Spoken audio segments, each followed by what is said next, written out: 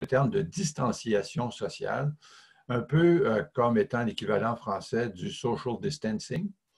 Euh, et euh, j'aimerais souligner ici que la dimension sociale, dans l'utilisation du terme, est davantage mise en relief. C'est de ça dont on parle plutôt que de la simple dimension spatiale. Gardez vos distances, approchez-vous pas trop les uns des autres, ainsi de suite. Donc, qu'est-ce que ça, d'où vient cette notion de distance sociale? Donc, en sociologie américaine, les premières études qui portaient sur euh, la distanciation sociale s'intéressaient au phénomène de la ségrégation et de la discrimination causée par euh, l'arrivée de, des immigrants. Et donc, on sait que les États-Unis ont été peuplés au départ par des immigrants, disons, de première vague, des immigrants des îles britanniques, des Scandinaves, des Allemands en somme des immigrants de tradition protestante. Or, les nouvelles vagues d'immigrants, euh, donc dès les deuxième ou troisième vagues, euh, la provenance des immigrants euh, était différente, de telle sorte que des politiques, je dirais, publiques de discrimination et de ségrégation ont rapidement été mises en place. Juste pour donner quelques exemples, en 1913, il y a une interdiction aux États-Unis pour les Chinois les Japonais, les Coréens, les Indiens d'acheter des terres. Et puis, on leur interdisait aussi de louer des terres pour plus longtemps que trois ans. On est allé un peu plus loin en Californie en 1920, où on interdit à tout immigrant asiatique même de louer des terres. Donc, c'était une interdiction formelle. En 1922, la Cour suprême des États-Unis a statué que les Japonais devaient être considérés comme des étrangers. Là, je cite euh, la Cour suprême devaient être euh, considérés comme des étrangers inéligibles à la citoyenneté et ne pouvaient donc pas être naturalisés.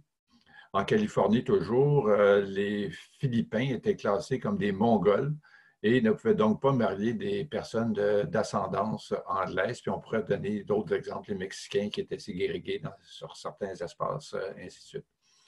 Donc, euh, la notion de distanciation sociale, c'était essentiellement une volonté de maintenir à l'écart certaines populations qui étaient jugées comme étant incompatibles par rapport au groupe majoritaire. En sociologie, les premiers euh, qui se sont intéressés à la notion de distanciation sociale euh, c'est au début des années 20, c'est les sociologues Park et Burgess qui définissent la notion comme, euh, là je cite, le degré d'intimité et de compréhension qui existe entre des individus ou des groupes, ou des groupes sociaux. Donc, c'est le degré de proximité en fonction euh, de l'appartenance à des groupes sociaux. Park et puis Burgess ont fondé en quelque sorte euh, l'école euh, de sociologie de Chicago et euh, vont devenir assez bien connus pour leurs travaux sur ces questions-là. Donc, dès le départ, la notion de distanciation sociale s'intéresse à identifier l'étranger et les caractéristiques de l'étranger. Et l'étranger, c'est une personne, pas juste l'étranger qui vit ailleurs, mais l'étranger interne, si on veut. Donc, euh, l'étranger est une personne qui appartient à un groupe racial ou un groupe culturel euh, différent, donc qui est exclu euh, de l'adhésion au groupe majoritaire. L'étranger est décrit comme étant, toujours selon Park et Burgess, et là je les cite parce que j'aime bien l'expression, la combinaison. Donc, l'étranger, c'est la combinaison du proche et du lointain. Donc, il s'intéresse à mesurer cette espèce de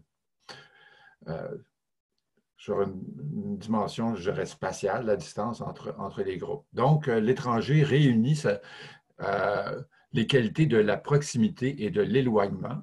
Et donc, par rapport à l'étranger, on peut vivre différentes, on peut avoir différentes attitudes qui vont de la sollicitude, c'est-à-dire essayer de comprendre, jusqu'à l'indifférence. Donc, cette conception d'étranger dépeint celui-ci comme quelqu'un qui n'est pas intimement et personnellement concernés par la vie sociale du groupe majoritaire.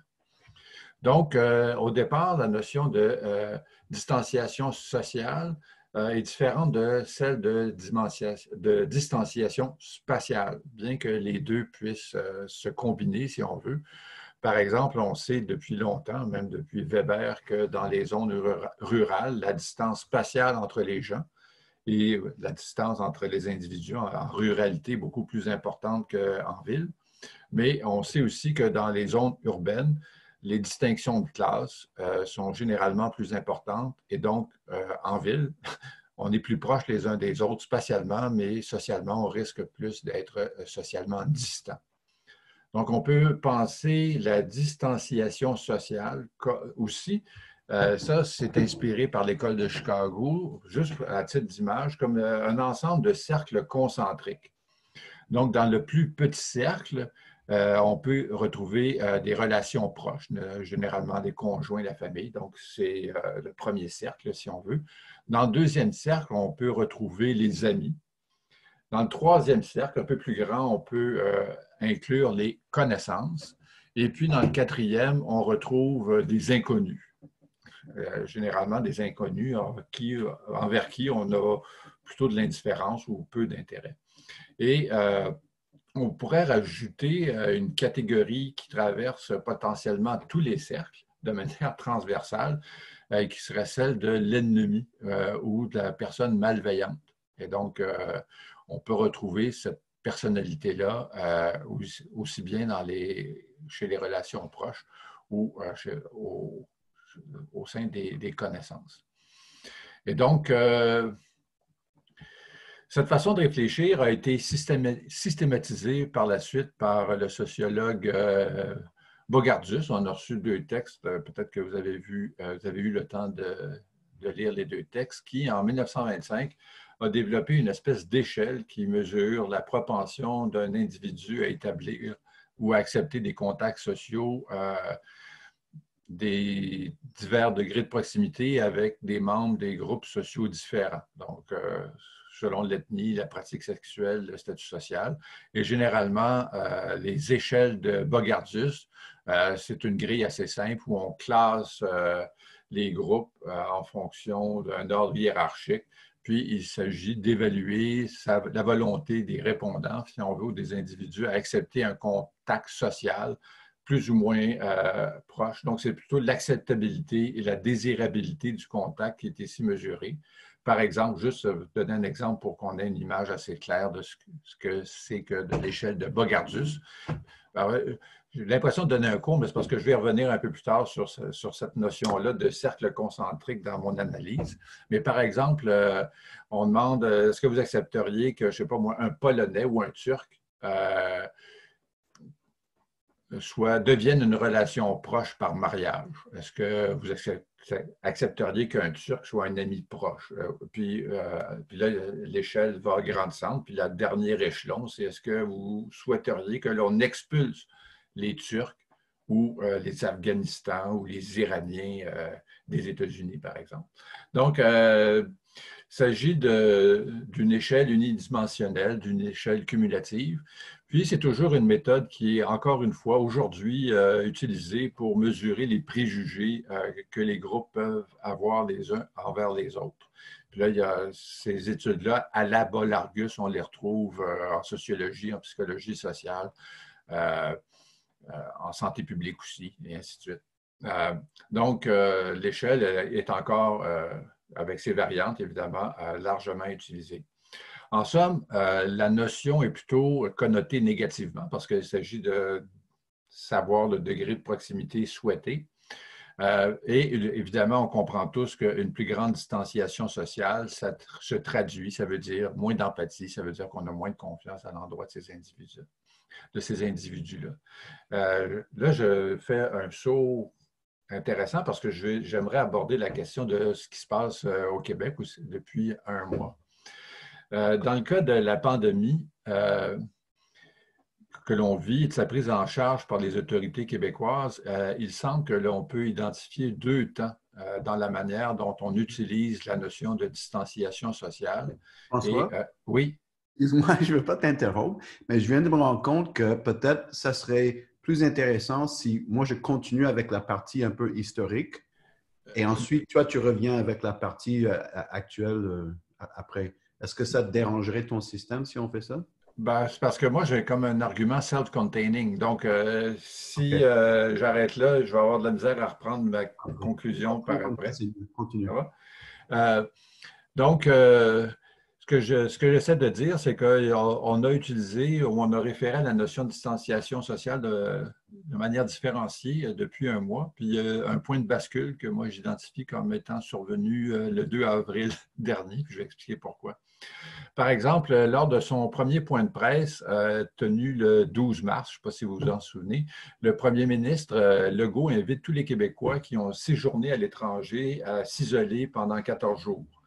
Euh, à la toute fin du point de presse, le terme distanciation sociale est évoqué une première fois par le docteur Arruda en réponse à une question sans en faire une injonction, une obligation, ni vraiment dire de quoi il s'agit. On comprend que des gens en santé publique, le social distancing, ça fait partie de leur, vocabulaire de tous les jours, puis ils ne sentaient pas le besoin de nous dire de quoi il s'agissait. Et dans les jours qui suivent, euh, le docteur Arruda en parle en référence aux personnes qui sont mises en quarantaine, donc ils doivent observer une certaine distanciation sociale. Le 16 mars, le premier ministre euh, invite les Québécois à éviter tout rassemblement qui ne serait pas nécessaire et recommande à tous les travailleurs qui ne peuvent pas passer en mode télétravail de garder une distance de deux mètres de leurs collègues. Le 24 mars, euh, Arruda et d'autres invitent simplement les Québécois à garder leur distance les uns des autres lorsqu'ils sortent dans les épiceries, les commerces, ainsi de suite. Et donc, la distanciation sociale que l'on nomme explicitement là, tous, les, tous les jours, M. Arruda en parle, s'applique surtout aux personnes qui sont infectées par le COVID-19. Le 24 mars, le premier ministre énonce plus clairement la consigne du 2 mètres. Et là, je vais juste citer un de ses points de presse. Là, faites comme si j'étais François Legault. Je sais que ce n'est pas évident, mais faites comme si c'était possible. J'ouvre les guillemets. Euh, M. Legault dit Maintenant, je reviens aux consignes de base. Là. Euh, tous ceux qui ne travaillent pas dans les services essentiels doivent rester à la maison. Ça, c'est clair. Mais peuvent sortir, un, bien sûr, pour aller chercher de la nourriture, deux, pour aider les personnes de 70 ans et plus à aller chercher de la nourriture pour eux autres, pour les personnes de 70 ans et plus. Et c'est possible d'aller prendre une marche aussi. C'est même bon pour la santé, bon pour le moral. Il faut juste rester à deux mètres. Ceux qui ont les anciennes mesures, là, c'est six pieds, ça, euh, des autres personnes. Vous pouvez aller prendre une marche. Euh, fin de la citation. Donc, cette nouvelle consigne du deux mètres, qui est répétée ensuite jour après jour euh, par M. Legault. Le premier ministre ne prononce jamais Juste, en fait, il ne l'a pas fait parce que j'ai vérifié jusqu'à aujourd'hui, ne prononce jamais le terme de distanciation sociale mais on en parle à tous les jours. Ce sont plutôt le docteur Arruda et les autres intervenants de la santé publique qui euh, l'utilisent euh, de manière répétitive dans les réponses aux questions, mais toujours en fonction de la consigne de conserver deux mètres de distance. Donc, finalement, eux autres, traduisent euh, deux mètres par social distancing. En somme, les autorités publiques insistent sur l'importance d'une distance physique plutôt que social. Euh, on peut aussi penser qu'on euh, a invité les Québécois à faire preuve de... En fait, on ne pense pas. Euh, pendant tout ce temps-là, M. Legault et les autres ont invité les Québécois à faire preuve de générosité en faisant davantage de bénévolat, en aidant les personnes âgées, en nous invitant à téléphoner à notre grand-mère ou à d'autres personnes qui sont isolées, ainsi de suite. Donc, on parle de distanciation physique en d'autres termes, euh, le lien social est préservé, hein, ce qu'on nous dit, en dépit du lien physique. Euh, là, j'arrive à ce qui me semble le plus important. La situation semble avoir changé de manière assez importante, sinon dramatiquement au début du mois d'avril. Donc, la préservation des liens sociaux ne faisait appel qu'à un ensemble de mesures qui touchaient les individus de manière à nous isoler physiquement sans pour autant installer une méfiance profonde les uns envers les autres. On demande aux individus de faire preuve de prudence et de civisme, en quelque sorte, en conservant une certaine distance quand on marche sur la rue, quand on va faire du jogging, quand on va à l'épicerie, ainsi de suite, une distance qui est jugée euh, sécuritaire. Donc, euh, tout en conservant une, une attitude qu'on pourrait qualifier de bienveillance paternelle, euh, M. Legault euh, hausse le ton le 2 avril dernier. Euh, pour lui, la propagation du, coronavirus au sein de la population se veut dire, puis on nous impose des mesures de confinement plus sévères. la transmission communautaire fait en sorte que tout le monde maintenant, pas juste ceux qui sont allés se promener à l'étranger, devient un porteur potentiel du virus qui, lui, peut être mortel, surtout pour les personnes âgées. Donc, on peut penser que les cercles concentriques de la distance sociale, à partir du 2 avril, se compriment et se réduisent significativement. En fait, euh, à partir du 2 avril, il y a, deux, cercles. Euh, il y a les personnes avec qui on vit. Euh, ça, peut être notre conjoint, ça peut être la famille, ça peut être quand on est... en fait, ça peut être avec des colocataires et ainsi de suite. Donc, finalement, le household, les gens avec qui on vit. Et donc, ça, c'est le premier cercle. Et les autres qui deviennent des ennemis potentiels. Donc, euh, on passe du premier cercle au deuxième cercle qui est constitué des étrangers, mais pas des étrangers euh, bienveillants, mais des étrangers qui sont malveillants. En d'autres termes, on ne peut plus faire confiance à personne. Euh, tout le monde peut nous infecter, que ce soit les membres de notre famille avec qui on ne vit pas, que ce soit les amis, les voisins, euh, et pire encore, les inconnus que l'on croise dans l'espace public lorsqu'on marche, lorsqu'on va faire des courses à l'épicerie ou à la pharmacie, euh, lorsqu'on fait son jogging. Et donc, euh, la méfiance collective, me semble-t-il, s'installe de manière assez importante à partir de ce moment-là. Donc, on assiste à une rupture du lien social au nom de la préservation du bien commun. C'est là qu'est le paradoxe, selon moi pour assurer le bien-être du groupe, ce qu'on nous dit, pour s'assurer finalement euh, le bien commun, il faut que chacun s'isole et que chacun pense à soi. À l'inverse, ce qu'on nous dit, c'est que la survie de chaque individu est fonction du respect de cette consigne de confinement et de distanciation sociale. Et euh, pourquoi je parle du 2 avril? C'est parce qu'à partir du 2 avril, on banalise, sinon on invite les gens à faire de la dénonciation des personnes qui ne suivent pas les consignes. C'est un phénomène qui était déjà présent, c'est-à-dire que les gens avaient déjà commencé à appeler la police pour dire euh, il y a des gens dans le parc en face de chez nous, puis ils ne respectent pas euh, le 2 mètres. Mais à partir du 2 avril, ça, devient la nouvelle règle de fonctionnement en société. En d'autres mots, c'est là le paradoxe numéro 2, l'intolérance au nom de la préservation de sa santé personnelle et du bien public, l'intolérance devient la nouvelle mesure de la solidarité. C'est-à-dire que si on pense au bien commun, il faut dénoncer son voisin. Cette nouvelle façon de comprendre la distanciation sociale a été énoncée pour la première fois par le premier ministre François Legault euh, lors de son point de presse le 2 avril. Et là, vous allez me permettre de citer euh, je ne vais pas tout lire son point de presse, mais ce qui me semble important. Alors, il dit au début de sa, conférence de presse, avant de, j'ouvre les guillemets, avant de passer au bilan de la journée, je veux revenir sur le respect des consignes. D'abord, je répète, comme je l'ai souvent dit, la grande majorité des Québécois respectent les consignes et puis je suis très fier des Québécois. Les Québécois m'impressionnent. Euh, mais il reste qu'il y a des personnes actuellement qui ne respectent pas les consignes.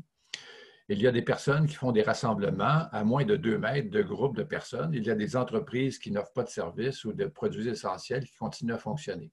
Et il continue, M. Legault, en disant, à un moment donné, il faut mettre toutes les chances sur notre côté pour réduire la propagation du virus. Et donc, moi, aujourd'hui, j'ai envoyé et j'envoie un message aux policiers de la Sûreté du Québec puis aux policiers des grandes villes, là, comme le SPVM, d'être moins tolérants je pense qu'on ne peut pas, là, actuellement, accepter qu'il y ait des gens, puis une grande majorité, qui fassent des efforts, puis que ces efforts-là soient ralentis parce que quelques têtes folles ou quelques personnes ne prennent pas ça au sérieux. Donc, les policiers vont distribuer plus d'amendes.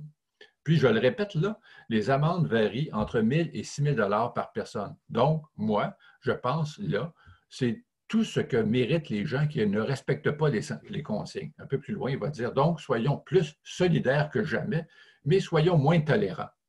Je le répète, Legault dit soyons plus solidaires, mais soyons moins tolérants. Là, il y a déjà des dénonciations, je pense qu'il y en a eu 7000 hier, aux policiers, bien les gens qui voient là que les consignes ne sont pas respectées, je pense qu'on en est rendu là. Donc, euh, ça arrête ma citation, mais ça donne assez bien l'esprit. La solidarité, ça veut dire ne faut pas être tolérant. Le samedi 4 avril, on sait que M. Legault euh, se repose euh, le samedi. Donc, euh, le 4 avril, le samedi, la vice-première ministre euh, Guilbeault était encore plus explicite en invitant les Québécois à dénoncer ceux qui ne respectent pas les directives. Puis là, je la cite. ouvrez les guillemets, et nos policiers aussi, tout comme nos anges gardiens du réseau de la santé, sont eux aussi au front quotidiennement pour assurer la sécurité de tout le monde. Donc, facilitons-leur la tâche, évitons les rassemblements. Donc, si vous êtes témoin de ces situations-là, des infractions aux directives de la santé publique, dénoncez-les, signalez-les à vos forces de l'ordre. Je l'ai déjà dit, on ne veut pas tomber dans un climat de suspicion non plus. Je ne sais pas comment on va réconcilier ça. Euh, on ne veut pas sombrer dans la paranoïa collective, mais s'il faut rester vigilant, il faut surtout s'assurer que personne ne met délibérément en danger la vie des autres personnes. Donc, je vais conclure avec ce qui suit. Euh, pour moi, je pense que la notion de distanciation sociale prend un sens différent à partir de la semaine dernière, marqué par les quatre caractéristiques suivantes. Euh, comme je l'ai dit, premièrement, un enfermement dans le premier cercle, c'est-à-dire que tous les autres cercles se compriment en un seul quand il s'agit de contact spatial. Euh, c'est nous dans mon confinement ou nous dans notre confinement et les autres qui sont potentiellement des euh, étrangers, sinon des ennemis. Donc, ce que ça veut dire, c'est que de manière concomitante, ça se traduit par une diminution de l'empathie. Deuxième conclusion, euh, la dénonciation devient un mode opératoire de l'interaction sociale auprès de ceux qui sortent potentiellement du premier cercle, à savoir tous ceux qui s'apparentent à ce qui sont devenus les étrangers ou à l'ennemi, en passant par les connaissances qu'on peut dénoncer, par les voisins, et tout individu qu'on ne connaît pas, mais qui est suspecté à première vue de ne pas respecter les consignes de confinement et de distanciation physique. Je ne sais pas si vous prenez des marches, mais il suffit de vous promener pour voir comment les gens vous regardent quand vous êtes sur la rue et que vous ne marchez pas tout seul. On essaie d'évaluer euh, si vous êtes euh, conforme, si vous respectez les consignes ou non. En tout cas, moi, j'ai l'impression de subir ce regard-là. Et donc, de manière concomitante, il me semble que ça traduit une baisse significative de la confiance. Troisième euh, caractéristique, c'est que le sujet, social devient l'individu. C'est-à-dire que l'intérêt personnel est conditionné par la docilité euh, de l'ensemble de la communauté qu'on peut voir comme la version sanitaire du néolibéralisme. Hein. L'individu, c'est celui à travers lequel euh, tout passe. Donc, de manière concomitante, le bien commun est subordonné ici à l'intérêt personnel. Et ma dernière euh, conclusion, ma dernière caractéristique, c'est que la surveillance policière devient la mesure de contrôle du respect de la, distanciation sociale. Et donc, d'une certaine manière, euh, on cherche à, rendre répressif euh, ce qui relève du social. Et donc, de manière concomitante, ça se traduit, me semble-t-il, par une augmentation de l'intolérance. C'est un peu ma réflexion plutôt pessimiste euh, de la manière dont on appréhende aujourd'hui euh, ou qu'on peut, euh, dans certains cercles, appréhender la notion de distanciation sociale. Donc là, je passe la parole à Bob. Merci beaucoup, François. je vais essayer de rester assez bref. Moi, j'avais pensé à, donner des éléments de contenu en trois temps je ne suis pas tout à fait d'accord avec François qui dit que je présente le côté positif de la, chose, mais c'est vrai que le terme, euh, dans ses origines en sciences sociales, connote euh, un phénomène inquiétant, un phénomène euh, qui, qui, est de connotation négative et qui est lié, comme François a dit, à la ségrégation. maintenant, ça devient un impératif et c'est quelque chose qui est plutôt perçu comme, comme quelque chose de positif. Pourquoi? Parce que euh, en respectant ces euh, consignes de la distance physique ou la distance sociale, comme ils appellent, euh, ça nous permettrait de sauver des vies. et donc, c'est comme François a très bien expliqué, c'est une sorte double, un impératif, une injonction paradoxale ou, ou double contrainte par le fait qu'il faut être euh, euh, euh, intolérant, il faut par la distance faire un geste de, solidarité.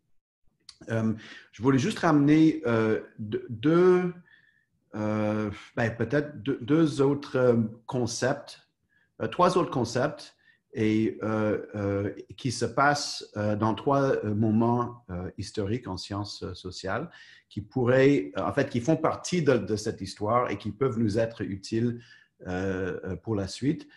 Si je dis que ce n'est pas nécessairement des éléments positifs, c'est parce que dans le premier cas, c'est un champ de recherche qui évolue surtout en psychologie sociale, qui vise à, décrire et à dénoncer les préjugés qui se passent à travers le contact. Euh, et le deuxième, c'est un modèle euh, qui est à la base de l'émergence de, la recherche euh, en communication interculturelle, qui vise d'abord à faire une analyse, je dirais, anthropologique et transculturelle de la façon que les êtres humains gèrent la distance. Le troisième concept que je vais présenter, ça ne va pas vous surprendre, c'est celui du vivre ensemble. Euh, donc, euh, le premier temps, c'est euh, à travers ces recherches qu'on appelle, qu'on rassemble avec, avec, la notion de, des théories du contact. Et c'est notamment à, travers les recherches d'un chercheur qui s'appelle Gordon Allport. Je ne sais pas si vous avez déjà eu l'occasion de lire quelques-uns de ses textes. En 54, il va publier euh, un texte extrêmement important qui s'appelle La nature du préjudice ou, des préjugés. Euh, et il va regarder, il va faire, toute une série de réflexions sur le fonctionnement des stéréotypes sur les groupes, comment les stéréotypes sont formulés. Il va, il va comme élaborer une sorte de théorie sur ce qu'il appelle euh, la distinction entre in-group et out-group, donc euh, l'appartenance euh, à, des groupes intérieurs et extérieurs.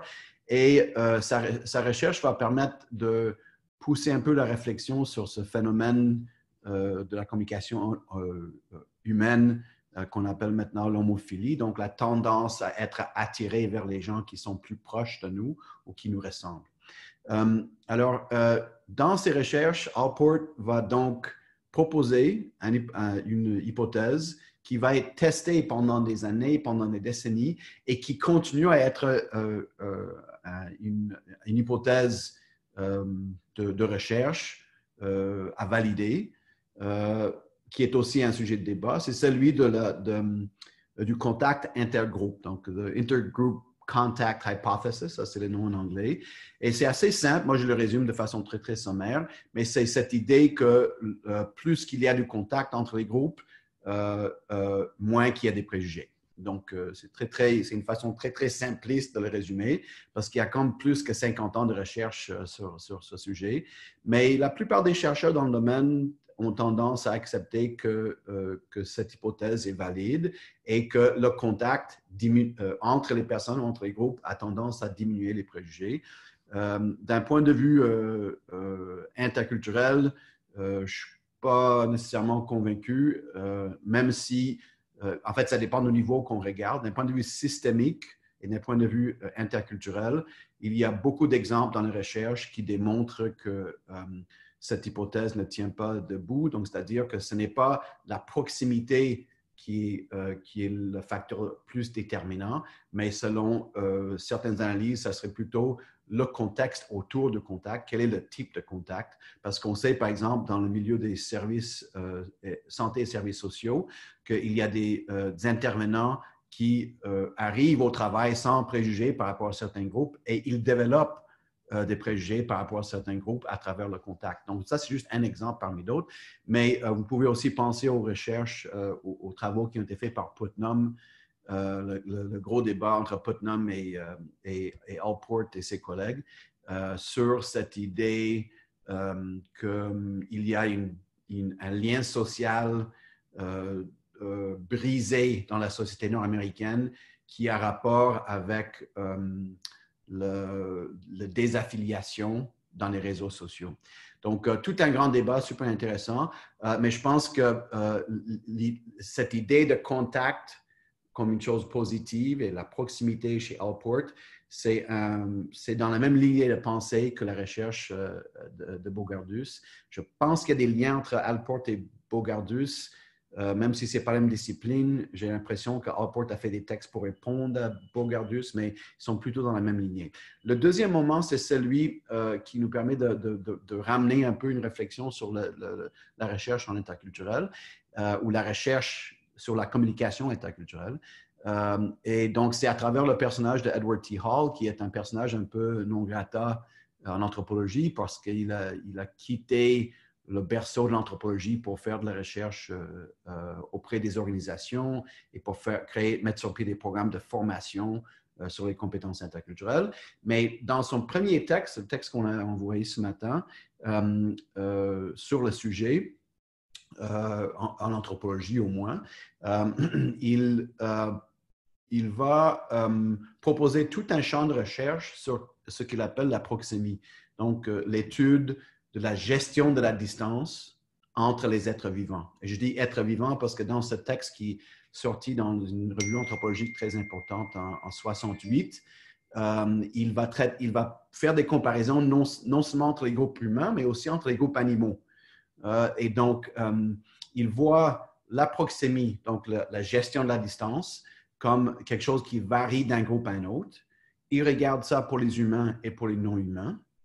Euh, et euh, il développe tout un système de codage pour faire une étude anthropologique très, très systématique euh, de la façon que le langage non verbal s'exprime dans la gestion de la distance. Alors, j'ai envoyé un lien dans le chat pour, sur un clip vidéo YouTube qui est assez intéressant, qui vulgarise un peu le modèle d'Edward T. Hall mais qui présente ça comme un, mettons, comme un, concept d'intérêt historique pour les gens qui s'intéressent à l'anthropologie ou à l'interculturel. Euh, Edward T. Hall, il faut le dire, c'est quelqu'un qui était connu, euh, qui, est, connu pour ce qu'il a écrit par la suite, par exemple sur les dimensions culturelles ou sur les dimensions cachées de la culture les, gens qui ont repris Edward T. Hall, malheureusement, ont, fait euh, un travail très, très, euh, je dirais, culturaliste et très réducteur. Euh, mais l'idée de base de Hall qu'on doit retenir, qui est essentielle pour toute analyse interculturelle, c'est cette idée du, variable culturel ou des dimensions culturelles. c'est assez simple. C'est cette idée qu'il y a des phénomènes de la vie sociale ou de la communication qui existent dans toutes les sociétés, mais qui prennent une forme variable. Par exemple, la gestion de la distance, la façon de se saluer, euh, la notion de la mort, euh, la notion de la vie après la mort. Ce sont tous des aspects qui existent partout dans les sociétés humaines, mais qui ne prennent jamais la même forme. Donc, euh, le terme qu'on a, sur lequel on, on s'est mis d'accord dans l'équipe de recherche sur la cohabitation, euh, c'est euh, variable culturel. on a eu beaucoup de débats là-dessus, là, mais euh, vous pouvez imaginer qu'avec la façon que les êtres humains gèrent la distance, c'est très variable. Par exemple, dans certaines sociétés asiatiques, les gens vont se saluer sans se toucher les mains ou avec plus de distance. Bon, toutes ces questions-là, on a, Hall a appelé ça la proxémie. Et c'est vraiment la chose la plus importante à retenir de cette partie-là, c'est que c'est avec l'étude de la proxémie que Hall va vraiment lancer un programme de recherche sur la communication interculturelle. Hall est comme vu comme le père de la communication interculturelle. Il est repris dans plein de disciplines, sauf en anthropologie. Mais dans ce premier texte-là que je vous ai envoyé, euh, c'est un texte qui a été beaucoup aimé par les anthropologues parce qu'il pose un regard, je dirais, comparatif, transculturel, pas interculturel, mais transculturel sur la gestion de la distance comme variable culturelle. Alors, mais à partir de là, il arrête d'écrire les textes anthropologiques, il, va vers autre chose. Euh, euh, et donc, je vais faire un saut dans le temps pour nous ramener, comme François a fait, un peu dans, dans, le présent. Et ce que je trouvais assez intéressant, j'aime beaucoup l'analyse de François pour voir comment le, le, terme a bougé et, quand, et comment le terme traduit mal l'intention et peut-être le terme lui-même nous, met en, double, en, en, situation euh, paradoxale, cette idée de distance sociale. Mais il y a, y a un autre mot ou, ou, terme qui circule beaucoup au Québec depuis une dizaine d'années, si ce n'est pas plus, mais que je n'ai pas entendu depuis le début de la crise, et c'est celui du vivre ensemble. Euh, les gens commencent à disant que le, terme n'a pas de sens parce que c'est comme un fourre-tout et puis c'est juste un terme que, que, les politiciens utilisent pour euh, euh, faire des discours, de, langue de, des discours en langue de bois. nous, on a fait pas mal de recherches au labo depuis cinq ans sur le thème, surtout à l'échelle municipale, et puis on se rend compte que ce n'est pas si fourre-tout que ça. Euh, c'est quelque chose qui serait, c'est un terme qui, émerge suite à la Deuxième Guerre mondiale, surtout dans le monde euh, onusien, mais pour, dans un premier temps, comme une réponse aux horreurs de la Deuxième Guerre mondiale. Euh, ensuite, c'est repris dans plusieurs textes et plusieurs écrits de la francophonie, et ça serait donc un terme qui est spécifique au monde francophone uniquement le francophone, parce que ça existe aussi dans, dans le monde hispanophone, surtout en, Espagne, mais c'est quelque chose qui se traduit difficilement dans le monde anglophone. Donc, on a comme l'hypothèse qu'il y a quelque chose de spécifique par rapport au terme vivre ensemble dans le monde francophone. Et aussi, euh, on a pu le démontrer qu'il prend tout euh, son sens dans l'opérationnel. Euh, si on regarde le niveau municipal, euh, donc le vivre ensemble comme cadre de gestion de, de, euh, la, de la, cohésion sociale en contexte pluriethnique. Euh, c'est donc deux, deux constats par rapport à ça, et puis après je vais terminer. C'est que le mot devient un terme clé pour, en termes, je dirais, des discours politiques, devient un mot-clé pour mobiliser euh, les, acteurs politiques et les citoyens qui, euh, euh, quand les, les, décideurs politiques essaient de montrer une posture d'ouverture, mais en contexte de superdiversité. Donc, le vivre ensemble au Québec et en contexte municipal, c'est une réponse à des changements démographiques par rapport à, l'immigration surtout. Euh, et c'est une réponse que les acteurs municipaux utilisent pour essayer de donner un sens collectif, donc à la collectivité municipale, euh, euh, étant donné qu'il y a beaucoup de changements au niveau démographique, au niveau du visage du territoire municipal. Deuxième chose, c'est qu'on a, on a plein d'exemples où euh, les, les, les, responsables municipaux, les élus, les conseillers, les maires utilisent le terme du vivre ensemble pour rester alignés avec les orientations du gouvernement, mais sans tomber dans le vieux débat entre le multiculturalisme et l'interculturalisme. Donc, le meilleur exemple qu'on a de ça, c'est Coder, qui va euh, explicitement évacuer le langage euh, de Montréal comme ville interculturelle, malgré le fait qu'il est reconnu comme la première ville en Amérique du Nord comme cité interculturelle, va demander à ses fonctionnaires et à ses élus d'arrêter d'utiliser le mot interculturel et il va mettre sur pied une série de mesures euh, et une série de, mécanismes municipaux euh, qui s'expriment à travers l'étiquette de Vivre ensemble, notamment l'Observatoire de Vivre ensemble et puis les politiques de Vivre ensemble. Et il n'est pas le seul. Euh, la ville de Québec est en train de faire des choses semblables. Ça se passe aussi euh, à Repentigny, à Laval, à Longueuil. Donc, c'est vraiment quelque chose qui, moi, je vois ça comme une réponse politique à une sorte de dilemme entre le vieux problème entre le Canada euh, anglais multiculturaliste et le Canada français interculturaliste. Donc, je serais, je suis un peu surpris qu'on ne parle plus du vivre ensemble, c'est peut-être parce qu'on est toujours dans le temps de la gestion de la crise euh, et que quand on va commencer à parler de déconfinement et puis, euh, mettons, le resocialisation, comment faire pour rétablir le lien social, qui est la question qu'on voulait poser euh, dans l'atelier, peut-être que le vivre ensemble va revenir comme discours. en même temps, je n'ai pas fait l'analyse du gouvernement actuel pour savoir comment il gère cette question-là. Donc, j'arrête là, puis on pourrait peut-être ouvrir la discussion pour réagir à ce contenu.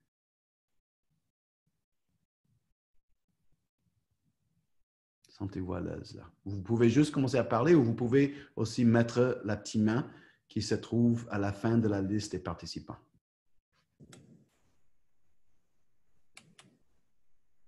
Bob? Oui. C'est Joseph. Oui, bonjour. Euh, bonjour, j'aurais euh, trois petits commentaires. Le premier, c'est il faudrait revenir à la, aussi au concept d'étranger chez Zimmel. Oui. Parce qu'il est important, il définit l'étranger comme quelqu'un qui fait partie du groupe sans y être. Mais je trouve que c'est peut-être quelque chose euh, qu'il faudrait euh, reprendre euh, un peu plus parce que c'est lui en fait qui lance la notion, cette notion importante. Le deuxième, dans, chez François, j'ai pas entendu le, la notion éthique de responsabilité. Parce qu'il ne s'agit pas juste de distance sociale, mais de, de la question de la responsabilité par rapport à la santé euh, d'autrui. Et revenir un peu à la phrase biblique euh, qui se pose, c'est suis-je le gardien de mon frère? Si on le place dans cette perspective-là, suis-je le gardien de mon frère, ça change totalement la responsabilité que j'ai par rapport euh, à l'autre, non seulement pour lui, mais pour son entourage, et donc, j'ai l'impression qu'il faudrait euh, introduire la notion de responsabilité euh, dans, dans le débat, parce que ce n'est pas juste un concept sociologique, c'est aussi un concept éthique qui est, qui est important à, à considérer. Le troisième, c'est aussi un paradoxe intéressant que peut-être à ressouligner, c'est que on, met l'accent sur euh, sur la responsabilité de l'individu, mais tout en maintenant un contrôle social et même un contrôle policier. Là, donc là, il y a aussi une contradiction euh, assez intéressante, c'est que euh, le go, il insiste sur la responsabilité personnelle, mais ça c'est la carotte, mais il sort chaque fois le bâton en disant euh, il y a la police et il y a les, les, les amendes. Donc je crois que, euh, à mon avis, c'est qu'il faudrait reposer aussi la question de la distance sociale un peu en termes de Hans Jonas, qu'il avait posé sur la question de, de la responsabilité, faire en sorte, qui définissait comme faire en sorte que la vie puisse continuer. Je crois que ça aussi, c'est un élément intéressant à considérer dans l'enjeu de la distance sociale. Très bien, merci Joseph.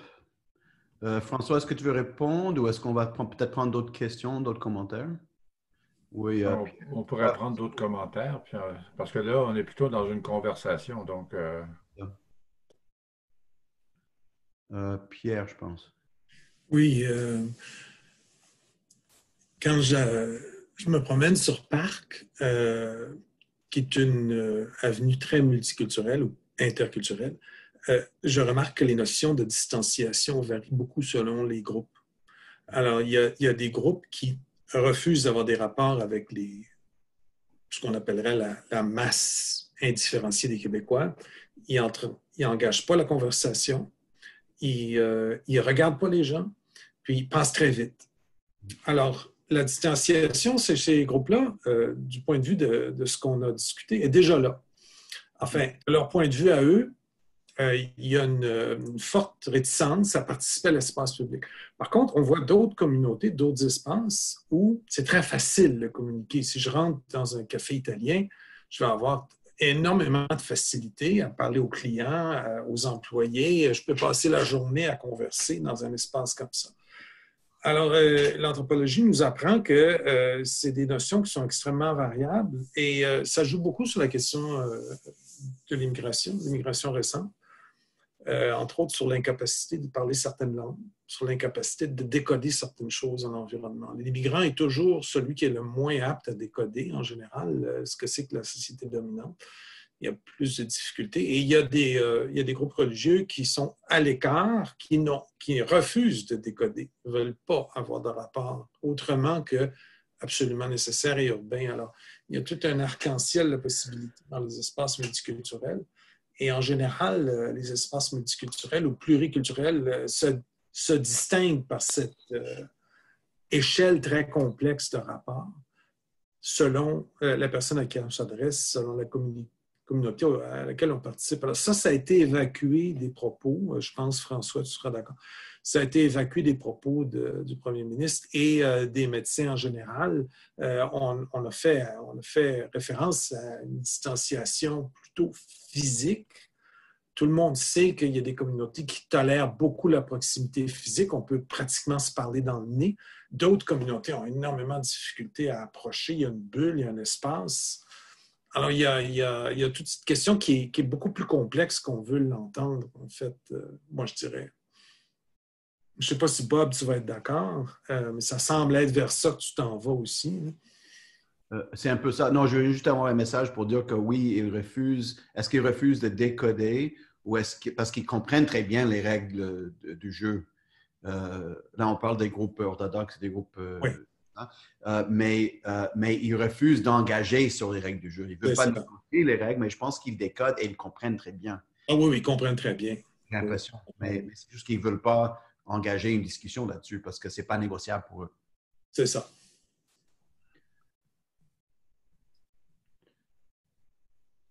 Qui aimerait euh, continuer? Farah, oui.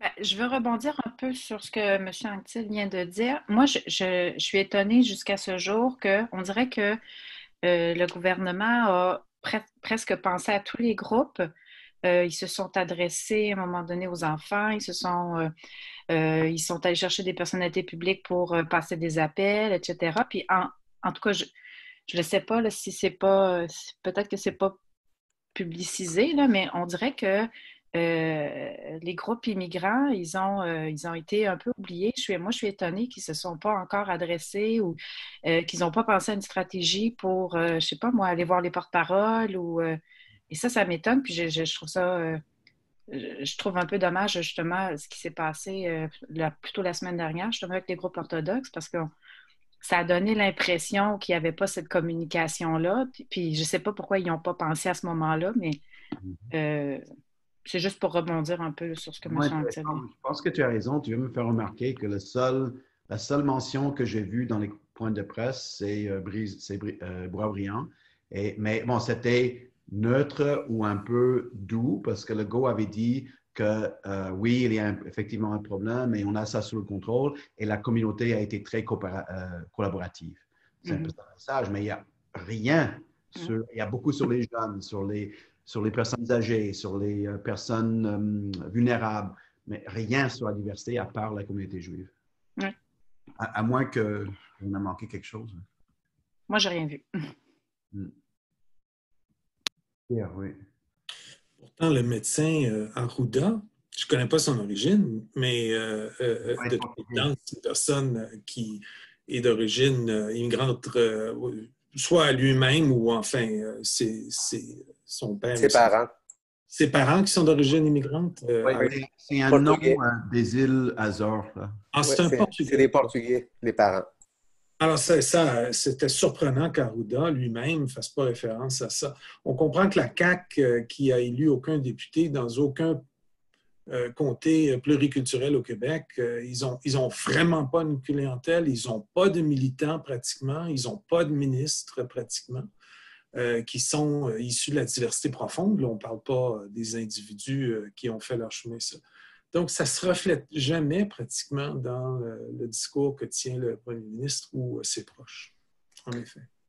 je ne sais pas si vous avez vu la, dernière question du point de presse aujourd'hui, mais la toute dernière question, c'est euh, est-ce que vous pouvez réagir au fait que la loi 21 euh, n'a pas été euh, suspendue?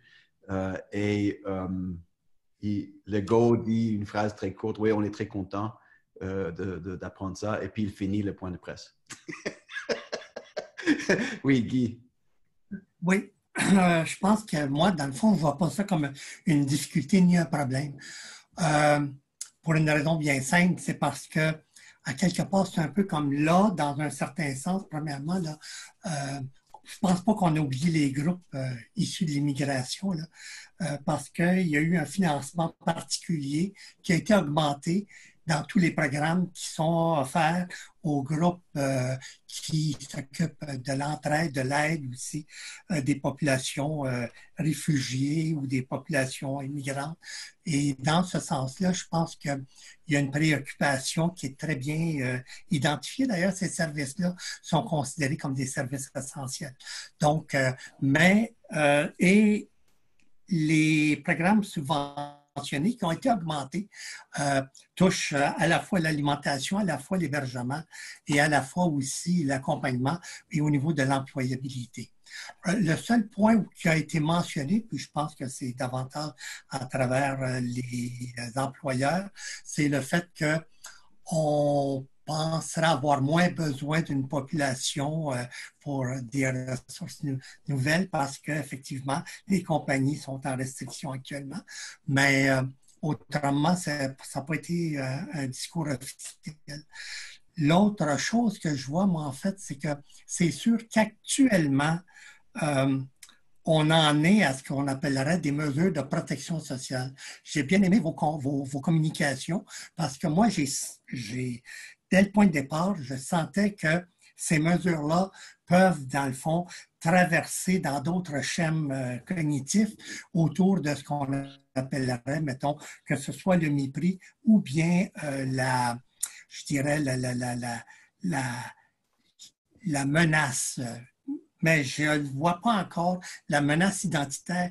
Mais ce que je vois, par contre, dans le discours d'aujourd'hui, c'est que, à quelque part, euh, quand on parle de nous, les Québécois, là, ça, ça a été comme une insistance qui a été apportée aujourd'hui euh, par le premier ministre. Et je trouve actuellement que ça devient. Euh, ben, il ne faudrait pas trop glisser là-dedans.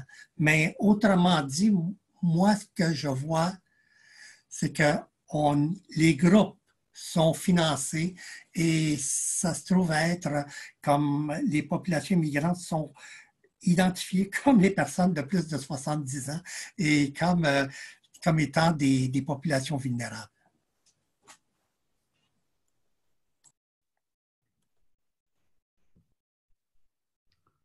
Très bien. Là, il est euh, bientôt 4h10. Peut-être qu'on peut commencer à voir si vous avez, euh, comme on avait fait la, semaine passée, pour voir si vous avez des... Oui, François, tu voulais euh, intervenir? En fait, euh, je voulais rebondir très, très rapidement sur ce qui a été dit, notamment le commentaire de Joseph, qui est tout à fait à propos, c'est-à-dire qu'effectivement, je pense qu'on baigne dans une éthique de la responsabilité. Et quand on écoute M. Legault et même les responsables de la santé publique, évidemment, ils ont un discours bienveillant. Et, donc, on nous invite à nous protéger pour, protéger les autres. Et euh, parmi les autres, euh, protéger les plus vulnérables, notamment explicitement depuis plusieurs jours les personnes âgées. Et euh, je pense que l'idée de fond, ce n'est pas de dire qu'il y, a une intention implicitement, parce que ce n'est pas explicite, mais il y a quelque chose de euh, tordu chez nos, autorités publiques. Mais au contraire, je pense qu'ils font bien ça euh, dans l'ensemble, puis euh, avec les résultats que l'on connaît. Moi, ce qui m'étonne par ailleurs, c'est la modification du regard que les uns portent sur les autres. Et il me semble que depuis une semaine, peut-être un peu plus, mais c'est devenu plus clair depuis une semaine, la façon dont on interagit avec les autres s'est transformée de manière assez importante. Euh, quand on va faire des courses, en fait, euh, on a diminué le nombre de fois où on sort pour aller rencontrer des gens dans des lieux sociaux. En tout cas, moi, je, je n'y vais qu'une fois par semaine, une fois ou dix jours. Euh, mais il y a tout un dispositif euh, dans les épiceries, par exemple, en tout cas l'épicerie que je fréquente, où il n'y a pas plus que tant de clients en même temps. Donc, on attend notre tour et puis ils ont tracé sur le sol euh, des lignes, un peu comme euh, chez, je ne sais pas si c'est comme ça chez vous, mais chez chez IKEA, c'est-à-dire qu'il y a une direction à suivre. On ne peut pas revenir sur ces pas, donc on s'assure qu'il y a toujours cette distance-là.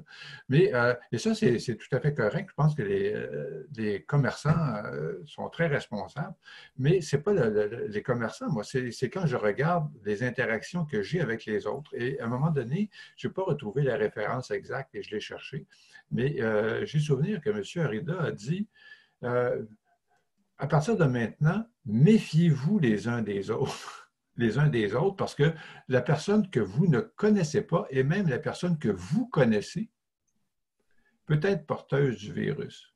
C'est ça. Et à mon avis, euh, on a, euh, je ne dis pas qu'on a brisé le lien social, je dis qu'on a euh, instillé une méfiance à l'endroit de l'autre, du connu qui devient presque l'équivalent de l'inconnu, de l'étranger. Hein. et c'est pour ça que euh, j'aurais préféré dès le début euh, que les autorités euh, de la santé publique n'utilisent pas l'expression distanciation sociale pour traduire social distancing. il aurait dû tout simplement dire gardez votre distance. une distanciation, une distance physique, restez à six pieds, deux mètres, mais maintenez le lien social. Et euh, c'est l'espèce de confusion entre le social et le spatial, l'espèce de fusion entre le social et le spatial que, euh, que l'on fait. Euh, J'ai vérifié, jamais M. Legault n'utilise jamais, pas une seule fois, il n'a utilisé l'expression distanciation sociale, jamais, pas une seule fois. M. Arruda et les autres souvent. Et quand on lit la presse, le journal, peu importe le journal, qu'il soit français euh, en anglais, ils utilisent social distancing, ça ne leur cause pas de problème, mais si on lit la presse, le devoir, euh, si on euh, regarde le fil de presse de Radio-Canada ou de TVA, on parle toujours de distanciation sociale.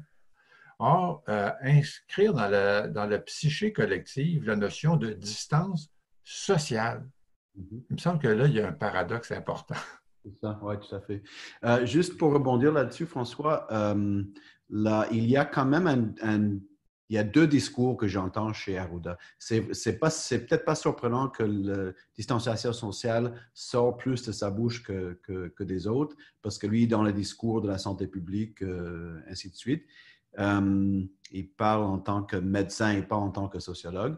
Euh, mais en même temps, je l'entends dire souvent, méfiez-vous, gardez vos distances. Aussi, je l'entends dire, méfiez-vous de vous.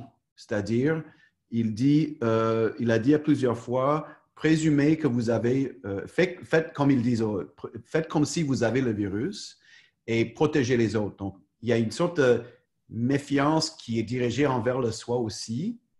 Est-ce qu'on va voir euh, que, que, ces deux éléments du discours varient à travers le temps? Je ne suis pas surpris que peut-être euh, on parle un peu moins maintenant de se méfier de soi-même. Mais il faut se rappeler que ce n'est pas très clair dans les médias, mais il y a euh, environ 25% des personnes qui sont complètement asymptomatiques.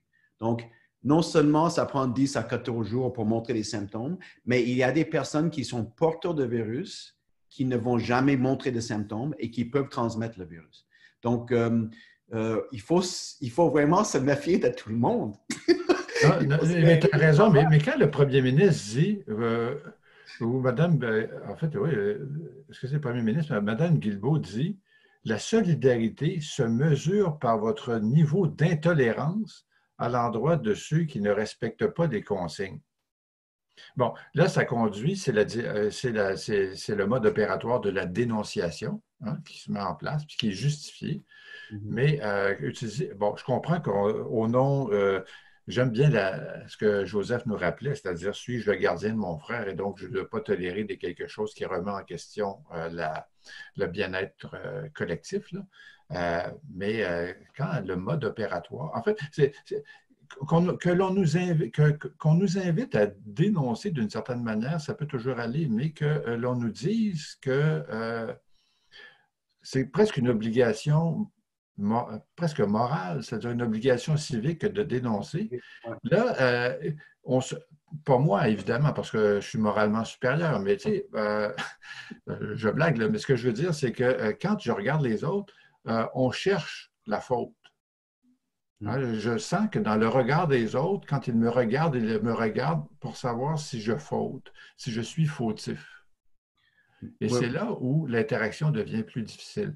Évidemment, je marche sur ma rue et puis j'ai des gens que je rencontre souvent, je garde de ma distance, on se salue. Je vois bien qu'ils ne me considèrent pas comme étant un, paria, mais euh, des gens que je vois moins souvent, euh, j'ai l'impression, c'est peut-être ma paranoïa personnelle, que, mais que l'on cherche chez moi le fautif.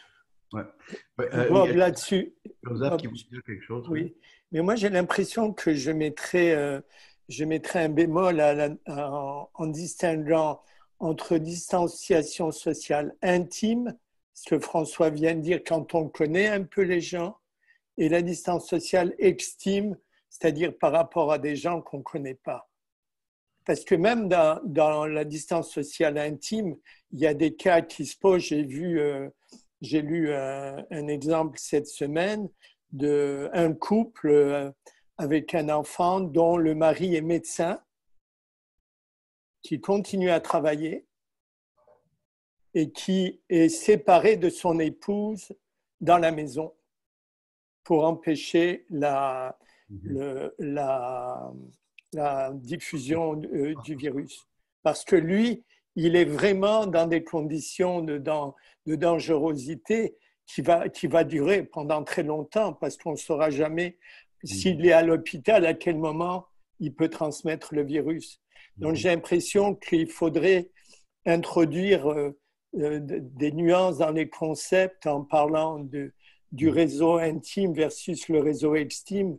le réseau extime, il va être beaucoup plus, euh, comment dirais soupçonneux que, que, le, que le réseau intime qui aura plus de difficultés à garder le, la distance. Et on le voit dans le, le discours de Legault quand il dit euh, Moi, ma mère, je ne vais pas aller la voir dimanche, euh, c'est la fête, euh, etc.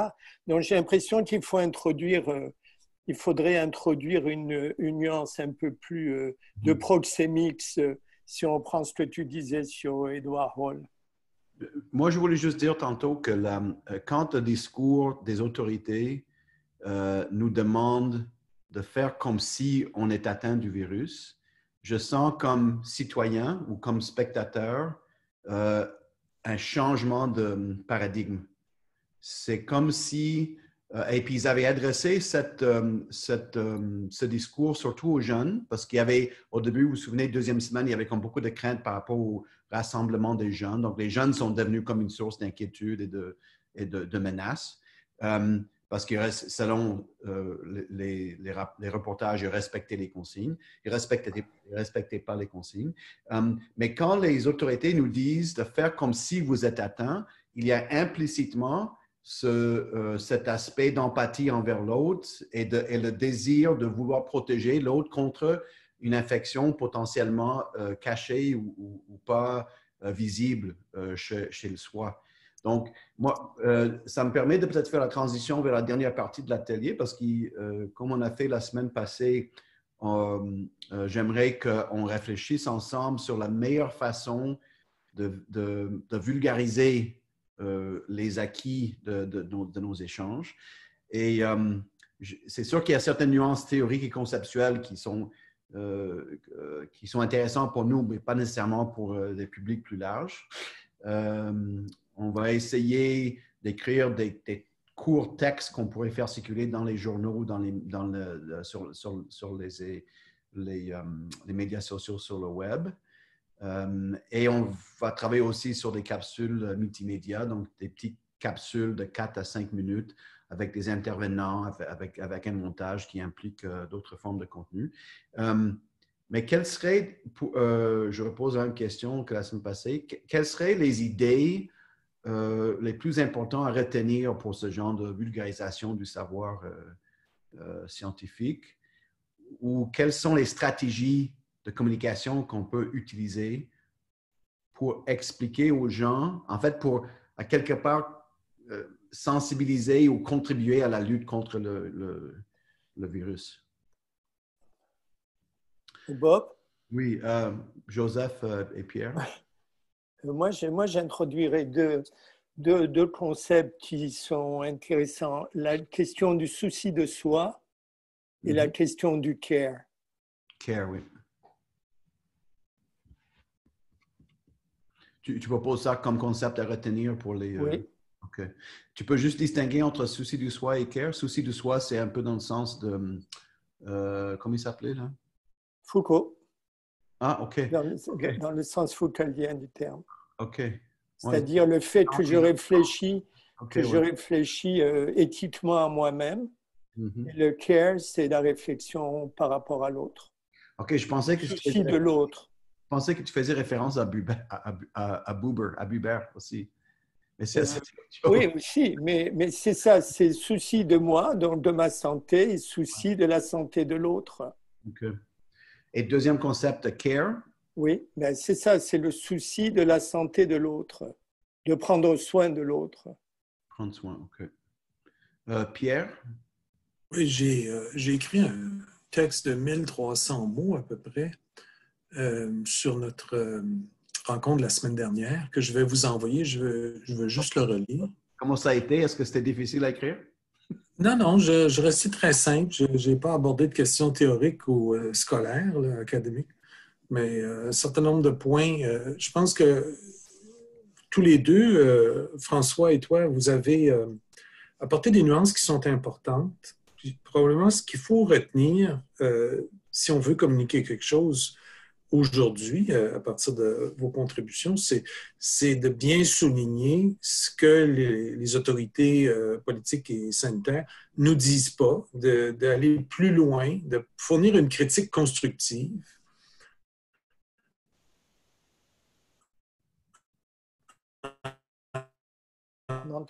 On t'entend plus, Pierre.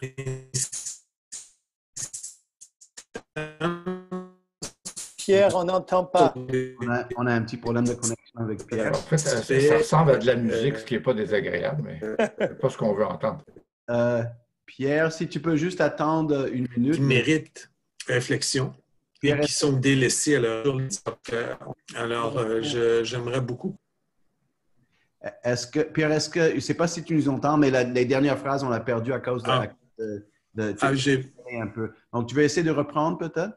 Oui, je veux, je veux dire que ce serait important, comme vous avez fait aujourd'hui, François et toi, d'aborder des aspects qui ont été délaissés par les médias, par les autorités politiques et sanitaires, parce que les médias actuellement ne font que répéter ce qui est dit par les autorités, il n'y a pratiquement plus, il n'y a pas beaucoup de sens critique et il n'y a pas beaucoup de nouveaux apports. Les gens n'ont pas le temps, ils suivent une crise qui se développe à une vitesse folle, ici et ailleurs. Donc, euh, moi, j'insisterai sur les éléments de critique et de réflexion qui ne sont pas sortis et qui méritent d'être dits. D'accord. Merci, Pierre. Il y a Jorge, je m'excuse, je n'avais pas vu ta main parce que ça ne paraît pas sur mon écran, mais Jorge attendait depuis tantôt pour euh, intervenir. Donc, euh, vas-y maintenant. Merci. Euh, juste pour rebondir rapidement pour ce que Joseph et Pierre viennent de dire, je suis tout à fait d'accord, mais ce que je voulais dire, c'était beaucoup plus avant ça, qu'on commence cette section aussi. écoute, là. Premièrement, c'était pour rebondir euh, sur la question des euh, Lego et comment on traite tout ça. Je vous rappelle que depuis le début et jusqu'à très récemment, constamment on répète à Lego ou jusqu'à quelques moments qu'il l'a fait par lui-même, s'il vous plaît s'adresser aux Québécois en langue anglaise. Donc, dans son esprit, c'est tout le temps une majorité francophone à laquelle il s'adresse. Donc, c'est tout à fait normal que dans son esprit, lorsqu'il s'adresse aux médias, la question migratoire ne soit pas là. Donc, c'est un schéma de pensée qui a toujours été là. Vous l'avez dit, sa base euh, électorale, elle est ailleurs. Elle n'est pas à Montréal. Et même les gens qui sont ailleurs, issus de l'immigration, n'ont pas nécessairement voté pour lui. Et il le sait très bien. Donc, pour moi, c'est une. Euh, son schéma de pensée continue. Maintenant, ceci ne veut pas dire, comme Guy l'a bien soulevé, qu'il va quand même faire des choses, ou d'autres personnes au sein du gouvernement, ils vont faire d'autres choses pour essayer de soutenir des gens qui vont quand même euh, soutenir ces populations-là, d'une façon ou d'une autre. Euh, l'autre chose qui m'a attiré l'attention depuis très longtemps et que euh, François a bien soulevé, c'est la question de la surveillance qui s'installe dans la population depuis, depuis qu'on a commencé à insister là-dessus beaucoup plus. Il l'a très bien démontré. c'est extrêmement préoccupant. Euh, pour les gens qui ont déjà vécu dans des systèmes totalitaires ou dictatoriaux, c'est tout à fait le même système qui, est euh, opérationnel, c'est-à-dire l'insistance que l'autre est potentiellement dangereux. Donc, il ne faut pas faire confiance. Là, maintenant, c'est au niveau sanitaire. Euh, je suis tout à fait d'accord, c'est un autre contexte, mais la mécanique n'est pas très loin, si vous voulez ce que je veux dire. Donc, ça, pour moi, c'est extrêmement préoccupant parce qu'on ne sait pas quels sont les effets à long terme, étant donné que là, on va rester dans une situation comme celle-là, probablement pour quelques mois encore. Et là, je suis très, euh, euh, disons, euh, j'espère que ça va être quelques mois seulement. donc voilà ce que je voulais dire vraiment, en, fait, pour rebondir sur certaines choses. Il y avait d'autres choses, mais je pense que je vais m'arrêter là. Merci. Euh, quand Legault parle en anglais, est-ce que tu penses qu'il pense aux immigrants ou aux anglophones? Euh, là, c'est vraiment, euh, c'est plutôt, à chaque fois, ça a été les médias anglophones qui lui rappelaient de, s'il vous plaît, s'adresser aux anglophones. Et c'est de façon générale. Mm-hmm. Et est-ce que tu penses que la crise sanitaire, que la crise, que la, la xénophobie à travers une crise sanitaire elle est plus prononcée que d'autres formes de xénophobie, admettons une xénophobie qui répond à l'immigration ou qui répond à des, problèmes économiques? Attends, je n'ai pas trop compris ta question.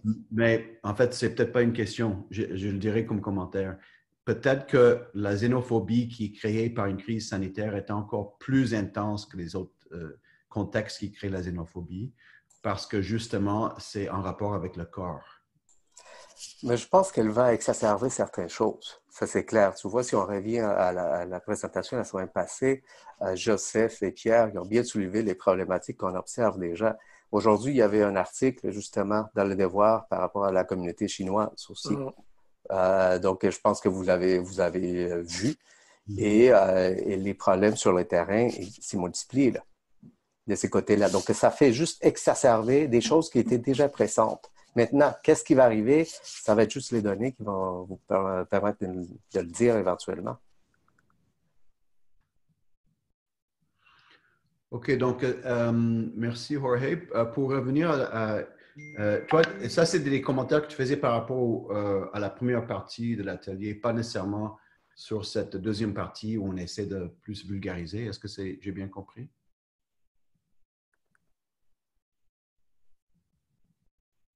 Allô? Bon, je ne sais pas si Jorge a entendu ma question, mais on peut euh, euh, continuer un peu. il nous reste euh, peut-être 10 à 15 minutes pour discuter un peu de la, façon qu'on va essayer de vulgariser ou opérationnaliser les acquis de l'atelier. je ne sais pas a des personnes qui ont d'autres idées par rapport à ça. Moi, je pourrais facilement imaginer introduire, euh, intégrer une, partie du constat que Farah a fait. D'ailleurs, j'ai oublié, oublié, de dire bonjour, euh, bienvenue à Farah et à Habib aussi, euh, deux nouveaux membres du labo. vous allez les voir sur les sites web après les avoir vus par Zoom. mais si donc vous voulez, c'est ça, je pensais que Farah, ce que tu as amené comme point, je trouve ça intéressant parce que c'est vraiment, dans le sens de ce que Pierre disait, c'est vraiment quelque chose qui est absent dans le discours. Jorge euh, en soulignait un peu pourquoi aussi. Euh, est-ce que tu peux imaginer les façons qu'on pourrait amener cette question-là dans un texte ou dans une capsule multimédia? Sans peut-être rajouter à l'effet de stigmatisation euh, qui est toujours le danger pour nous. Hmm, est-ce que je peux y réfléchir encore? non, on essaie de, juste euh, penser tout ensemble. Ou, euh, si, si, euh, si, vous voyez d'autres si vous pensez à d'autres éléments qui devraient être dans, le, dans ces capsules-là.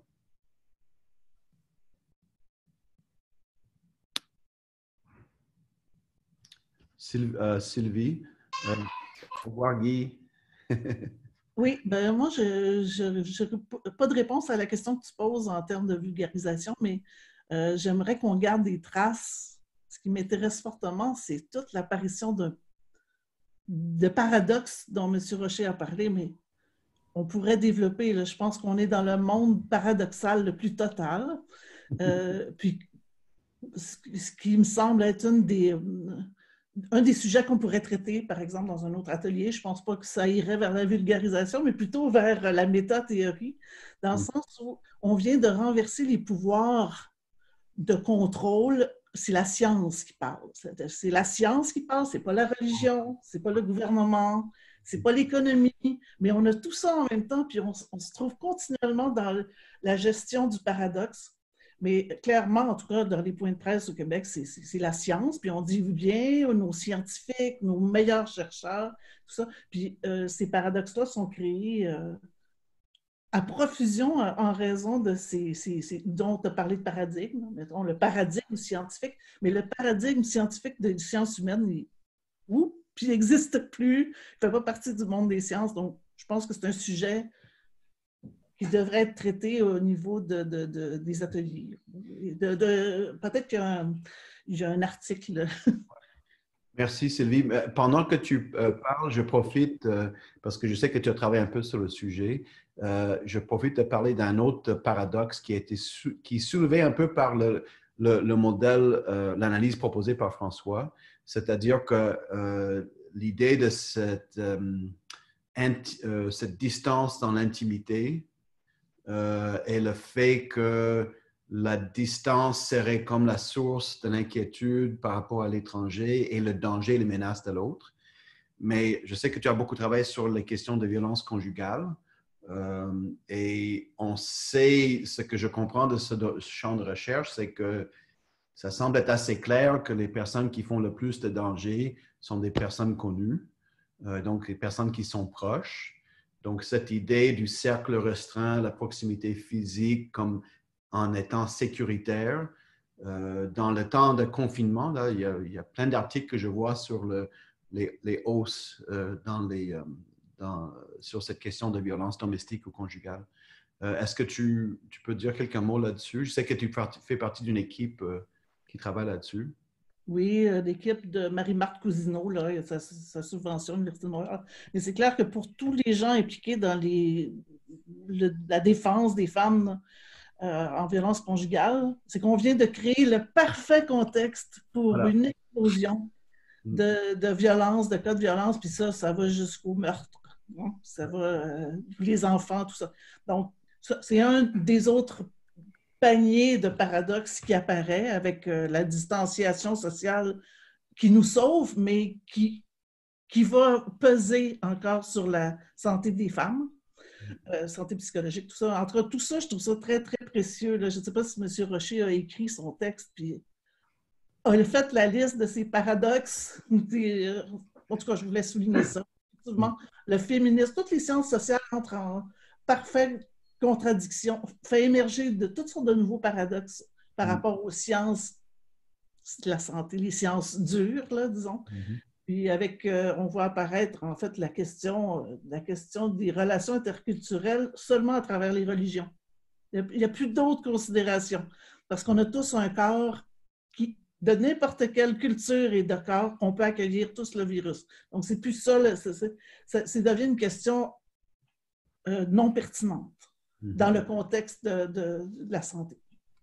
Euh, euh, merci Sylvie. Est-ce qu'on peut peut-être t'intéresser dans les écrits aussi? Jorge, est-ce que ta main est toujours levée ou... Euh? Oui.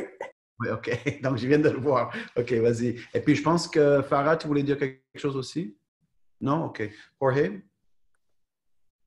Oui, merci. En fait, c'est quelque chose qui m'a vraiment fait sursortir quand Sylvie a mentionné ça. C'est quand elle a dit que la science mène en ce moment. Je suis loin d'être euh, convaincu de ça. Euh, ça dépend de quelle capitale nationale on parle. Oui, non, mais en fait, non. C'est parce que je pense en ce moment à tout, euh, tout ce qu'ils ont expliqué de façon très scientifique. Et je suis, là, là-dessus, je suis très, tout à fait d'accord par rapport à la distanciation euh, physique qu'il faut maintenir.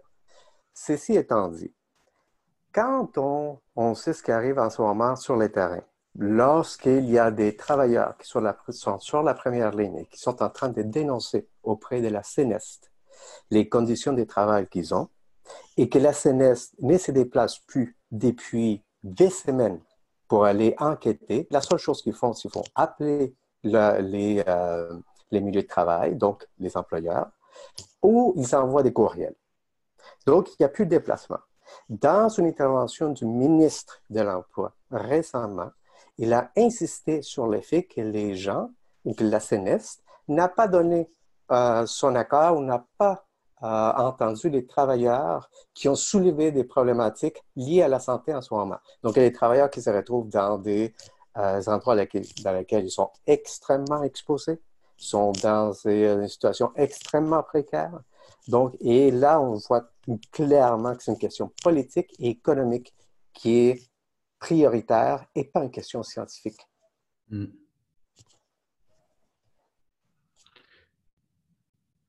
Parce qu'il y a, il y a comme des, euh, Jorge, il y a comme des cas de personnes qui font des réclamations. Comme, il y en a plusieurs. Des gens qui travaillent dans les entrepôts, des gens qui sont en train de nettoyer, des gens qui travaillent dans les épiceries, par exemple dans la rama, dans lesquelles il n'y a aucune mesure de sécurité ou presque, etc., etc. Non, mais je voulais dire qu'il y a comme des réclamations, il y a des... Euh, des dénonciations auprès de la CNS en, en faisant appel à la loi de la sécurité et de la santé. Comme quoi que le fait d'être exposé à, d'autres personnes qui sont atteintes du virus. Pas seulement d'être exposé, qui n'ont pas de mesures d'hygiène non plus. Il n'y a pas de moyens de se laver les mains, il n'y a pas des infrastructures, il n'y a pas, il a pas des gants, etc. C'est ça. Donc, c'est-à-dire que c'est vu comme des, euh, c'est présenté comme des, euh, c'est quoi le terme que je cherche, des réclamations de, en, rapport avec le CST. Ben oui. C'est ça. Mais c'est pas, c'est pas reconnu comme, comme tel. C'est-à-dire que la CNES n'a pas reconnu aucune des dénonciations à ce moment. C'est-à-dire n'a pas donné... Euh, suite. pas, pas, suite, mais elle n'a pas, euh, comment dire, je cherche les termes exacts, elle n'a pas reconnu les, les, dénonciations des travailleurs. C'est-à-dire qu'ils euh, ont, ils ont non-lieu, ou presque. Et tous ces gens-là sont tous les gens qui sont sur le front en ce moment. Mm-hmm. Donc, en anglais, on dirait que c'est des gens qui sont expandable.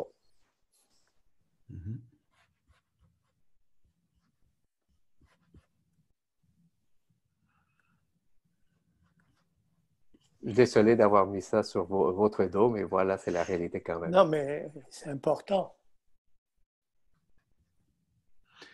Euh, ben, moi, ce que je trouve intéressant dans cet exemple-là, c'est euh, que l'infection, euh, la maladie infectieuse mhm. soit reconnue ou non comme, c'est quoi le terme que je cherche, ben, comme motif pour faire une réclamation d'SST. Ben, écoute, les, gens de la CSST ne se déplacent plus, les enquêteurs, parce que c'est trop dangereux. Donc, ils reconnaissent implicitement que c'est un, motif valable, mais on ne sait pas si le CNSST va recevoir ces cas-là comme des vraies demandes. Ça? En fait, ils reçoivent les demandes, mais ils ne font pas de suite. C'est-à-dire qu'ils ne reconnaissent pas la dangerosité de la chose pour les travailleurs. Mais, le, paradoxe, le paradoxe, c'est que les, enquêteurs de la CNS, qui habituellement devraient se déplacer, ne le font pas parce que c'est trop dangereux de se déplacer. Par contre, les travailleurs, ils doivent se déplacer et travailler dans ces conditions. Euh, Joseph? Mais il me semble ce qu'on pourrait dire, c'est que le discours épidémiologique camoufle les inégalités sociales. Tout à fait. Et les inégalités, de, les inégalités euh, occupationnelles. Donc, on n'en tient pas compte dans les discours. Hein. Euh, j'ai vu euh, certains des articles dont Jorge vient de parler, par exemple, les gens de Dollarama, etc. Donc, il y a vraiment à mettre en relief le fait que c'est ceux qui assurent les, les services essentiels qui sont les plus à risque qui ne peuvent pas maintenir la distance sociale exigée, mais ça, on n'en parle pas. Mhm, mhm. Euh, comme le, temps file un peu, j'aimerais faire une proposition pour la, fin de l'atelier. Dans les discussions entre euh, François et Maude et moi, euh, on est vers la fin de la discussion, on a commencé à parler des possibles suites à ces analyses-là. Et j'ai constaté dans nos analyses à nous que l'expression du, euh, euh, du lien social revenait souvent. C'est pas uniquement qu'il y a une nouvelle distance sociale et physique, mais c'est aussi la crainte que nous avons par rapport à, la rupture ou à la fracture dans le lien social. Et donc, on voit beaucoup de trucs sur le web actuellement, euh, dans les médias, sur les efforts des individus ou des gouvernements à, promouvoir, euh, à, s'occuper du lien social, à, comme recréer le lien social. Et donc, c'est sûr, quand on va commencer à déconfiner, euh, quand on va commencer à reprendre les activités euh, de travail et, et, dans l'espace public graduellement, ça ne sera pas pareil qu'avant. Donc, je, me demande si vous pensez que ça serait intéressant dans le, dans le texte ou dans les capsules de donner quelques exemples de ces efforts, euh, de ces tentatives de rétablir ou de réimaginer le lien social. Il y en a plein euh, qui sont là. Je ne voudrais pas tomber dans le, un peu dans les discours euh, utopiques qu'on voit, par exemple, à, la fin de chaque bulletin de nouvelles. Euh, on va montrer euh, une minute et demie de, personnes qui chantent ou qui applaudissent pour soutenir ou les trucs de solidarité. Je ne vais pas faire ça, là, parce que c'est un peu trop superficiel. Mais il me semble que si on est préoccupé par ces paradoxes-là, c'est parce qu'il y a le sentiment que le, le lien social était déjà assez fragile en contexte interculturel et maintenant il comme là, ça va être encore plus difficile à, faire ce travail-là. Alors, est-ce que, ça, pourrait faire partie de, des suites qu'on va donner? Et si oui, comment faire pour éviter que ça soit un peu euh, un discours un peu comme euh, utopique ou arc-en-ciel? On va certainement pas mettre ça va bien aller à la fin du truc. comment faire pour euh, éviter tout ça? Mais là-dessus, il me semble que le, déconfinement, il ne va pas être le même pour tout le monde. Hein.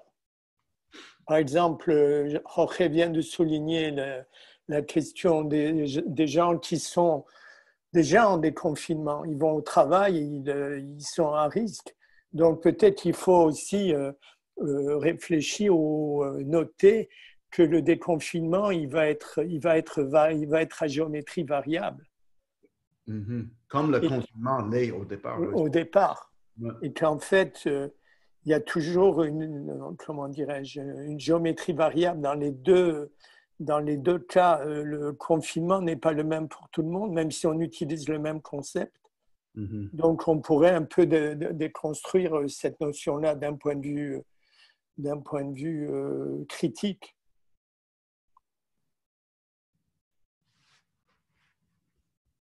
Est-ce que vous pensez que ça serait important, intéressant de donner des exemples de, qui, de, de, de, ces différentiels ou donner des exemples des tentatives de repenser le lien social? Toi, tu le mets en termes de, de lien social? Tu le, ben, pour moi, c'est comme la, suite logique, c'est d'imaginer, s'il y a comme une, une, un bris dans le lien social, par cette pandémie.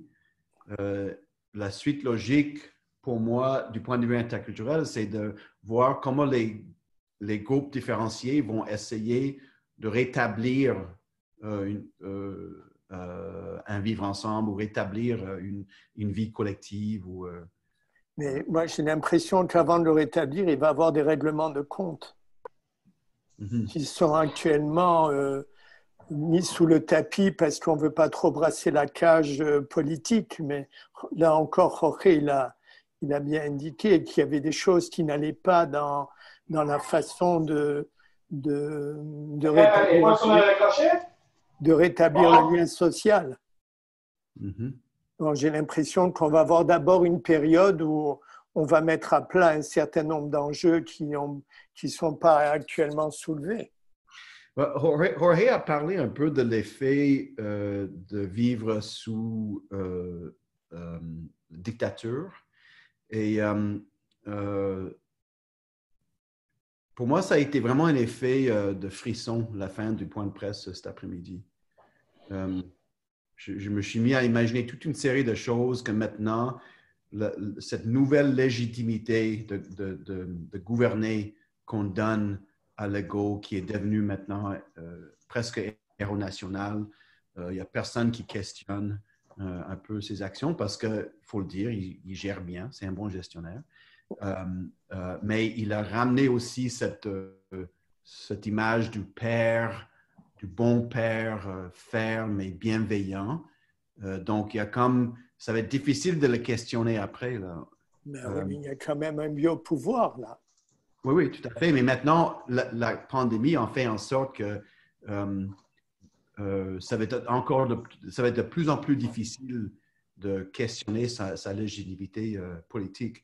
Et donc, quand je pense à la légitimité ou, mettons, le, marge de manœuvre qui va être donné à ce gouvernement par rapport aux autres actions, imaginez tout ce qui s'est fait sur, le, sur la- la gestion du travail temporaire ou euh, la loi 21. Il y, a, il y a comme beaucoup de dossiers sur lesquels euh, je, je pense qu'il doit être, euh, son gouvernement doit être très content de, de, de, de, de, de- de- de ce virage parce que ça va être euh, en, en, en, en état de, de- de crise, on sait comment ça marche, en état d'urgence, là, on donne tous les pouvoirs à tout le monde qui les a. Donc, euh, Oui, mais sur ça, euh, permets-moi, Bob, de dire qu'il y a une dynamique politique qui va changer à Ben partir oui. du moment où on va revenir à la normale. Euh, il faut se rappeler